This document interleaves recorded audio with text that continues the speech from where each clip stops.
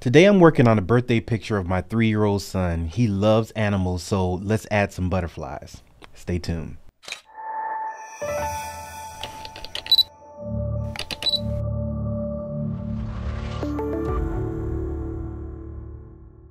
Hey, I'm Chris McNish, content creator for Sweet Gap Incorporated, where we provide solutions using content creation to tell your story.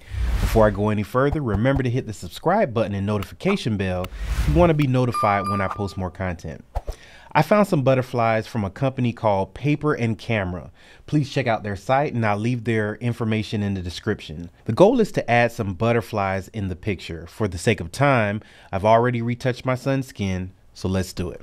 All right, we're gonna open up Photoshop and as you can see here that I've already retouched. The first thing that we're going to do is that we're going to add some butterflies. So I have some butterflies here. So I like this one here. So in order to bring this butterfly over to the other picture, make sure that you pick your selection tool and then in your selection tool, you'll hold it down here, drag it to the picture that you want and then boom. Uh, yes. Okay. And so let's get some more butterflies. I like that one there.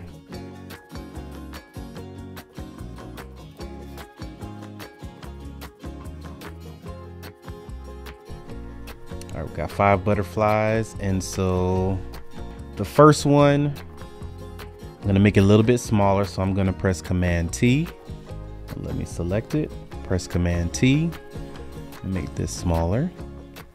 This will be the main focus. This is the one I'm gonna have him look at. See right there, and I'm gonna tilt it over so it makes it seem like it's going right towards him.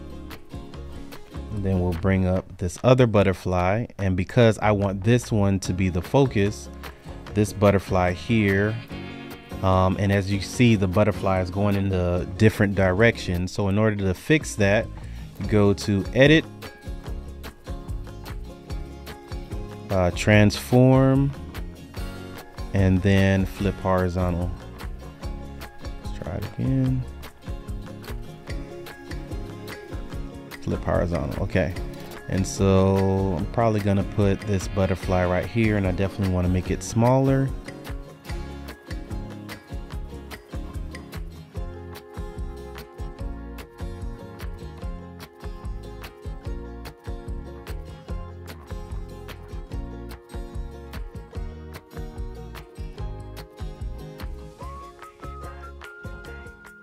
So what I'm gonna do here is I'm gonna select these layers here. I'm gonna press Command G and I'm gonna name this Butterflies 1. And the reason I'm gonna name it Butterflies 1 is because I'm going to duplicate the layer, the layer by pressing Command J. And then I'm going to name this butterflies two. All right, so what that does here is on butterflies two, I'll select this layer and I'll bring it out.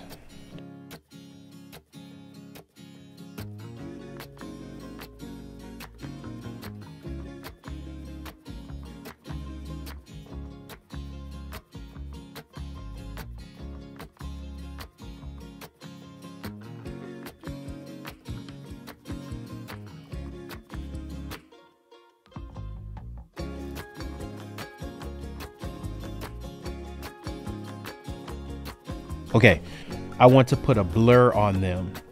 So I'll take this one here. Well, I'll just select it. And what I'm gonna do is that I'm gonna right click and then select convert to smart object.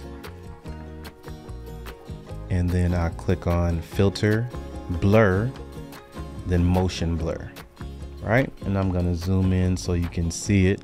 So as you can see, before it's in focus, after it's not in focus.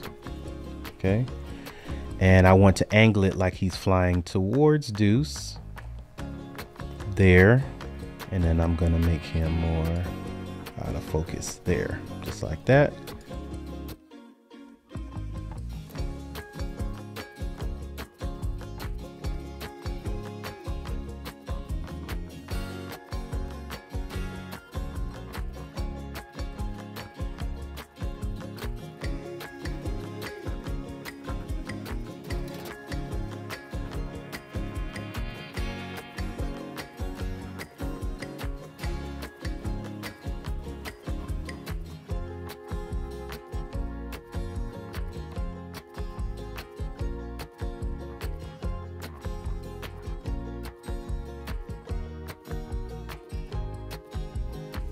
Okay, so this is pretty much what we have here. We're just showing some of them. And what I probably need to do is I need to bring some of them back in focus.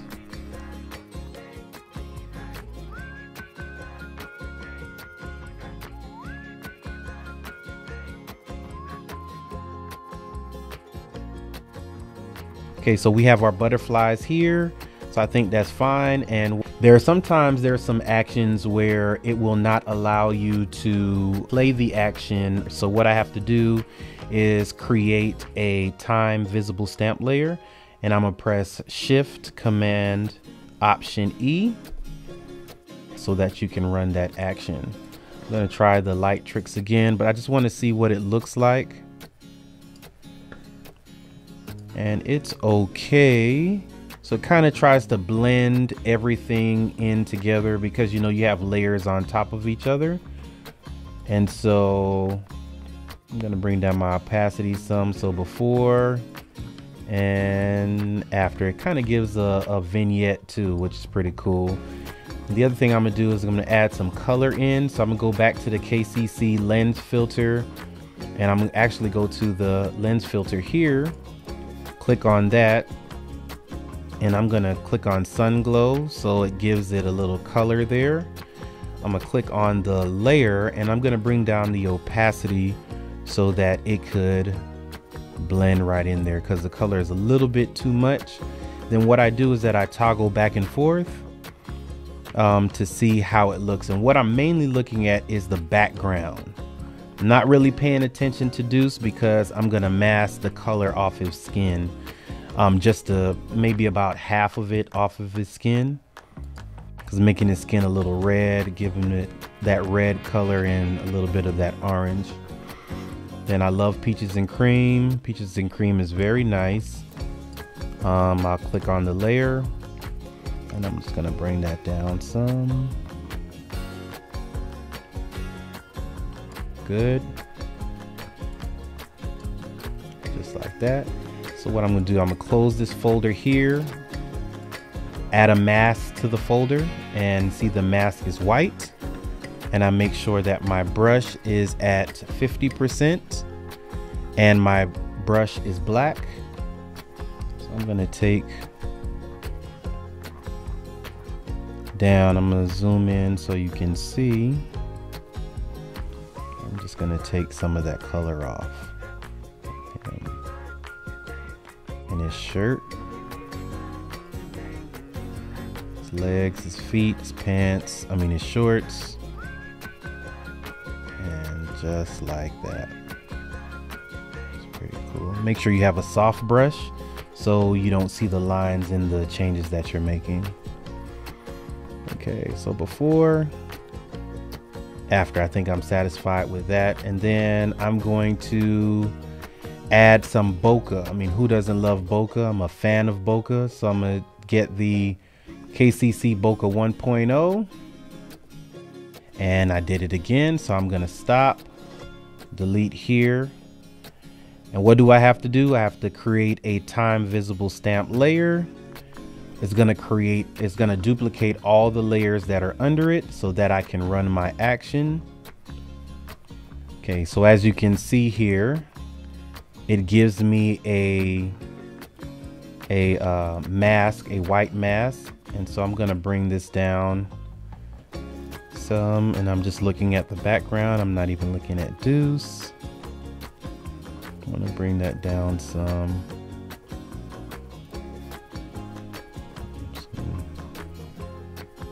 Before, there's your after, so I might bring it back up.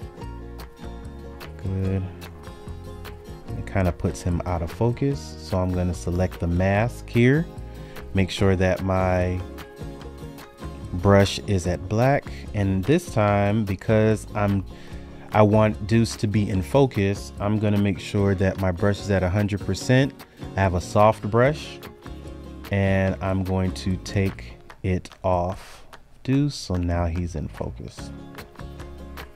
And not only am I going to take it off Deuce but I'm also going to take it off of the focal plane so as you can see here so now the focal plane is back in focus. We got before and we got after.